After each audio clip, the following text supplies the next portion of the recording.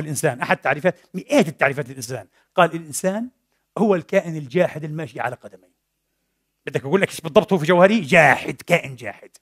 وهذا التعريف في جوهره قرآني. إن الإنسان لظلوم كفار. كفار بالنعم. أكبر جاحد.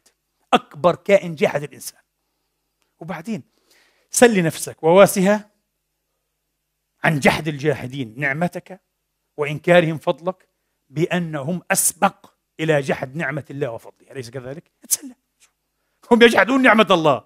أنت بشر عادي زيهم. إيه عادي. يجحدون نعمتك بعد حين. قد يطول أو يقصر. هؤلاء البشر. قال الإنسان هو الكائن الجاحد. الجاحد الماشي على قدمين. الجاحد الماشي على قدمين.